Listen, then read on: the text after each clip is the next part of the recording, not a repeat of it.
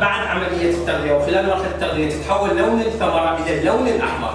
لكن شو يميزها عن الحميره؟ شلون أقدر أميز إصابة الحميره عن نخيل التمر؟ قبل أن تفرز لنا النسيج العنكبوتي لأن النسيج العنكبوتي راح تفرزه بمراحل متأخرة. شلون أعرف بأنه هذا النخيل مالتي مصاب بحشرة حميره حميره النخيل؟ أو مصاب بالحلم الفرق بيناتهم شنو؟ بالحلم مالت الغبار تساقط الثمار، الحميره ما يصير تساقط بالثمار، مع تحول لون الثمار بكلا الحالتين إلى اللون الاحمر.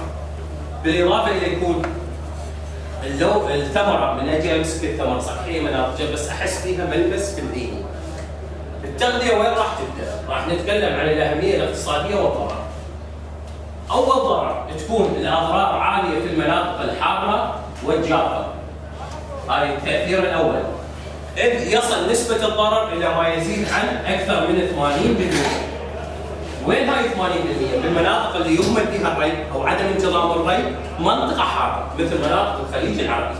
قد يوصل نسبة الأضرار 80%. الطور الضار نعم تأثير موضعي ولا عام؟ تأثير موضعي إحنا مثل ما تكلمنا.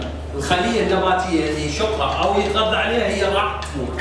والخلية السليمة راح تبقى مستمرة بعملية نموها أو عملية تركيبها ضوئي لأن هو ما يصير لنا السعه اللي هي الأوراق.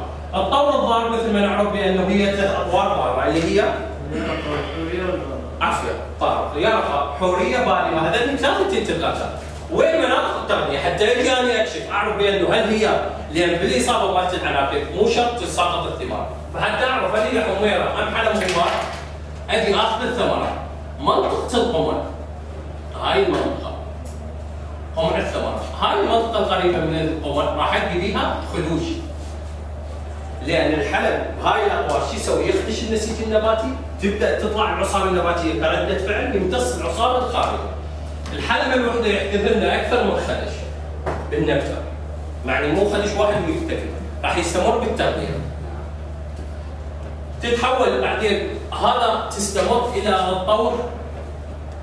أو تقريبا اللي نسميه إحنا البسر يعني قبل أن تتحول لنا إلى رطب قبل أن تبدأ تكون الثمار إلى الطور الرطب في الطور الرطب والطور التمرين نضج الثمار ما تكون موجودة الاصابه تنتقل لنا من الثمرة إلى السعف أو إلى ما يسمى بالأوراق.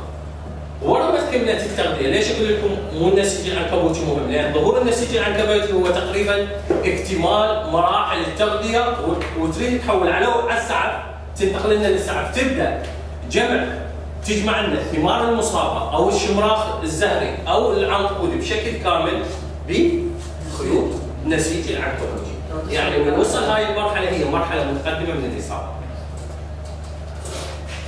ويا شباب فأشد لي اللي هاي المنطقة متحولة إلى نسيج فلديني. حيث أجي أتغذى عليها ورا ما تمام النضج راح يصير نضج بس يكون غير متجانس، الثمره مو كلها مكتملة بنفس النضج. من ابدا أتغذى عليها راح أحس بان النسيج يبلش مصلب ويتحول لنا إلى نسيج فلي. آه الاضرار خلال شهر تقريبا شهر الاصابه بالبداية آه راح آخذ ثمرة واحدة. هاي الثمرة الواحدة راح عندي هاي الخدوش مناطق التغذيه تتلون بلون أحمر. هاي النقطة الأولى. من ابدي اضغط على الثمرة أحس هذا اللون فليني بملمس اكو نزول مو متصلب بالإضافة إلى تساقطها ثلاث نقاط قلة العقل أحدى أمور بانه أنا اعرف بانه عندي حلم. شلون قلة العقل؟ قبل مرحلة بداية تكون يعني قبل ما يصير حجم حجم اللبلبي